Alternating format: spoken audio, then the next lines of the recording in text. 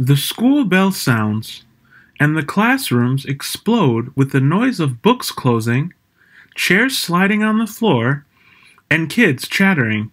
It's time for recess. The students head outside to the school garden. Mrs. McCarthy, above, the third grade teacher, dreamed of having a school garden. She talked to the other teachers, the principal, and the parents, and they all work together to make her dream come true. The garden is cared for by Miss Sue. Right. Question Who did Miss McCarthy talk to about her dream of having a school garden?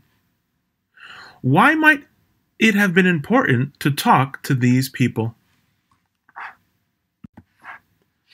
Miss Sue's husband, Will, designed the layout of the garden. College students Paul, Danielle, Autumn, and Allie volunteer to guide the children in the garden projects.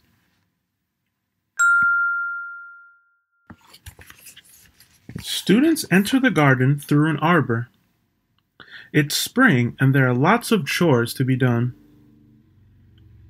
Depending on the weather, some classes are held in the open classroom, the garden, or the greenhouse.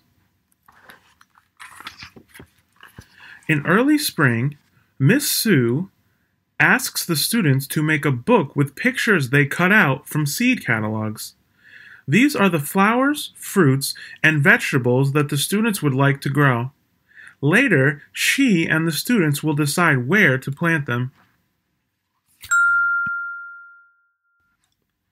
Every day, one student is asked to take a bucket of food scraps from the lunches and snacks and dump it in the compost pile.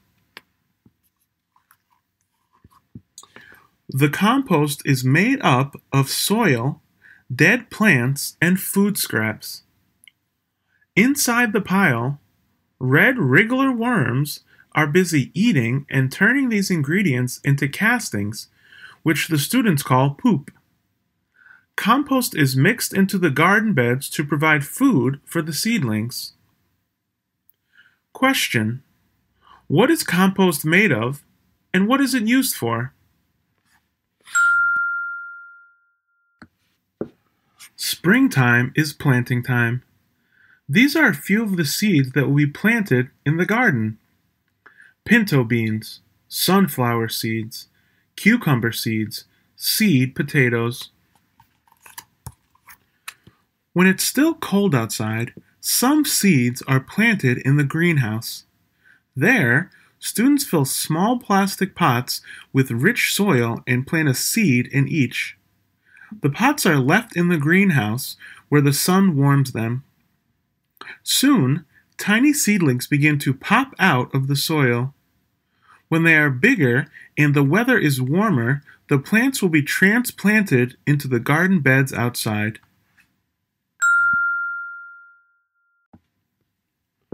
Flowers, vegetables, and fruits are planted in the beds of rich, composted earth. A teepee made of bamboo poles stands in the middle of the garden.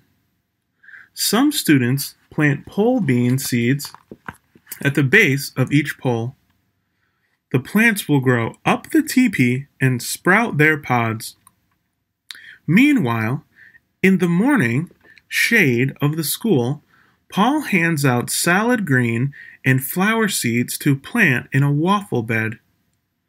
The bed's low walls of adobe bricks help keep the water in. Another group of students plant squash seedlings.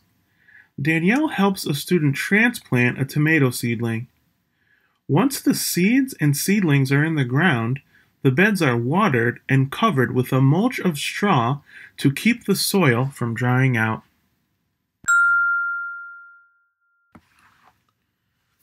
A lot of water is needed to keep the garden healthy. When it rains, water flows off the roof, down a drain pipe, and into an underground tank called a cistern. A solar panel on the roof of the outdoor classroom creates electricity to run the pump that draws water from the cistern. One of the students' favorite jobs is watering the garden. Miss Sue fills the colorful watering cans for them. The tomato plants are surrounded by plastic tubes filled with water. During the day, the sun warms the water in the tubes. At night, the tubes provide the warmth that tomato roots need to grow. When there is no rainwater in the cistern, a hose attached to an outdoor faucet is used to keep the soil moist and plants healthy. Even when the students aren't at school, there's a lot going on in the garden. A post with holes drilled into it becomes a nesting box for mason bees, which don't sting. Birds come to eat at the feeders. Worms are busy eating and making tunnels in the compost pile. Flowers produce a sweet liquid called nectar.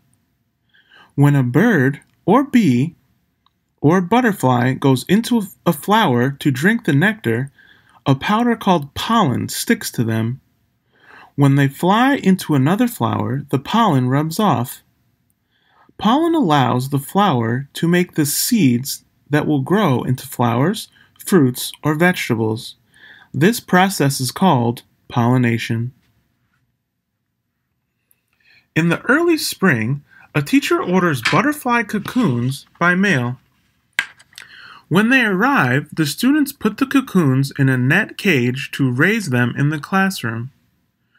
When the butterflies emerge, they are taken to the garden and released so they can pollinate the plants. Question What role do animals play in the community garden?